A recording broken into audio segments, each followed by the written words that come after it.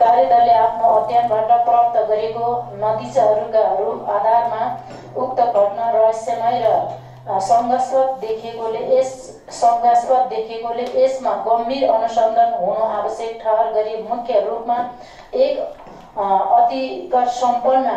र पूर्णत दक्ष जनशक्ति सहितको राज्य सयन्त्र केन्द्रित अनुसन्धान ब्युरो न्यायिक आयोग वा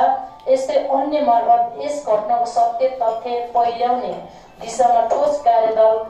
कार्य तत्काल अघि बढाउनका लागि सम्बन्धित निकायले निर्देशन हुनका लागि सुझाव पेश गरेको छ। साथै अध्ययनको क्रममा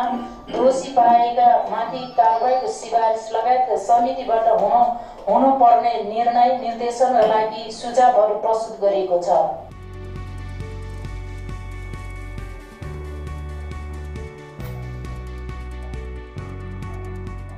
दलितमाथि जुन अपमानहरू घटिरहेछ त्यो घटना हेर्दाखेरि साँच्चै हामी दलित भएर दलितको अवस्था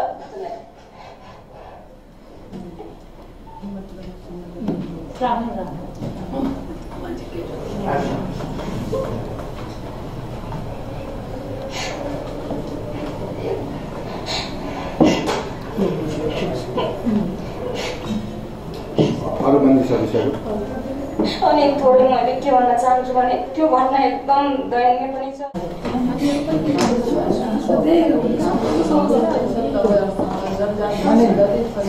आफ्ना